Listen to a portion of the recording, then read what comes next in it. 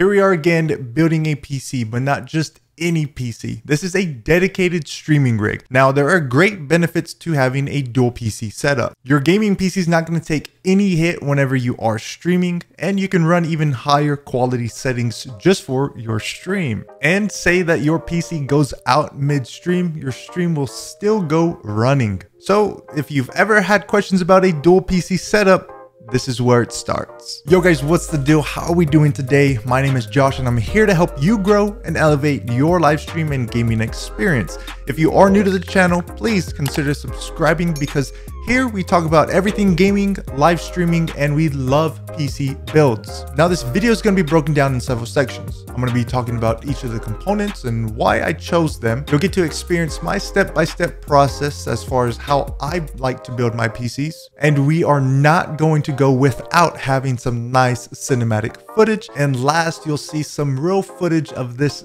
bad boy streaming. Now I won't spend too much time on this, but the gaming PC has a 2080 and a Ryzen 7 5800X CPU, a very powerful system, so we should be having some nice high frame rates, and the streaming PC will handle it. Now, as we go over the parts, if you have any questions about them, you can drop a comment or click on the affiliate link in the description below. Now to start this PC off, there's one thing to note. All the encoding is going to be done on the graphics card. And those of you who don't know, the NVENC encoder is the same all the way from the 3090 down to the 1650 Super. So it doesn't matter if you spend a lot of money or a little bit of money on a graphics card, the encoder is the same. And that's why I chose the 1660 Super by MSI to do all of the streaming.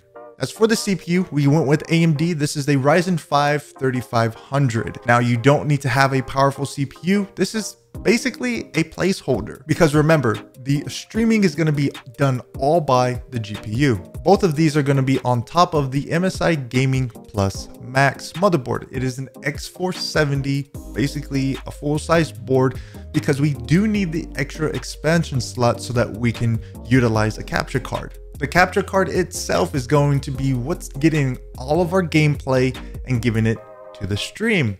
This is the Elgato HD60 Pro. Now Elgato makes phenomenal products, basically the best capture cards. You can choose to pick this one or even an external capture card like the HD60S, but I do prefer the cleanliness of having the capture card onto the motherboard rather than outside of the case. And for both our RAM and our storage, I have to give a huge shout out to Silicon Power for providing this for this video. We have 16 gigabytes of 3200 megahertz speed RAM, a very slick metallic covering that does have RGB as well that matches perfectly with our graphics card. And for our storage, we do have one terabyte on an M.2 SSD. They'll be placed on top of our motherboard and give us all the storage that we need. And to power the system, we do have 700 watt bronze power supply made by EVGA, which has some solid black cables to make it look aesthetically pleasing. However, it is non-modular, so any of the extra cables will have to be tucked underneath the case. And because I wanted the stream PC to match the gaming PC, we went with the NZXT H510. It's a cheap case that gets the job done. Now, there's a lot of discussion around this case. I personally like them.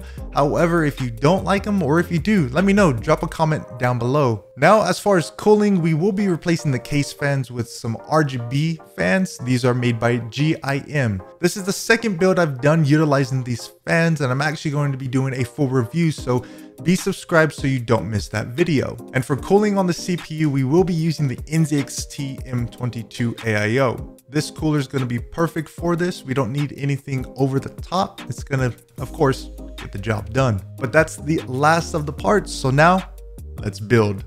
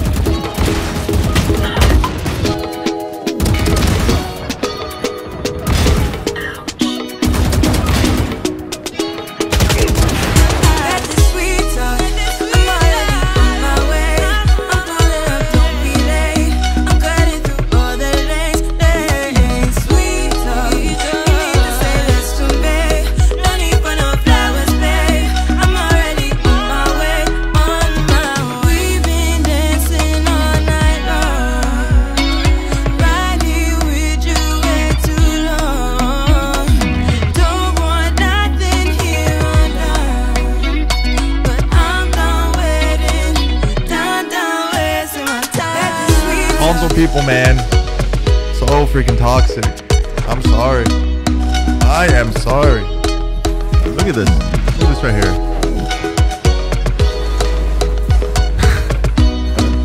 this guy's trash.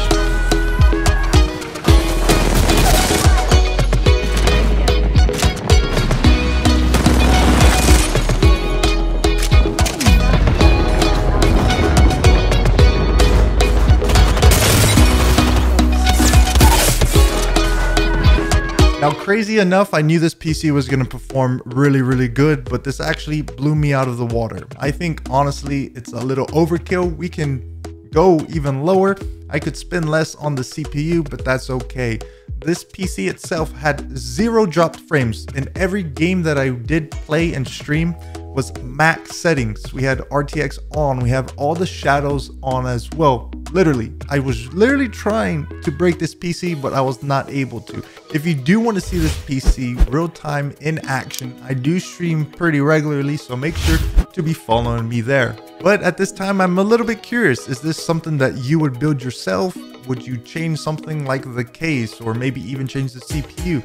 You guys let me know. Drop those comments down below. And if you're not subscribed by now, make sure to do so and hit that notification bell.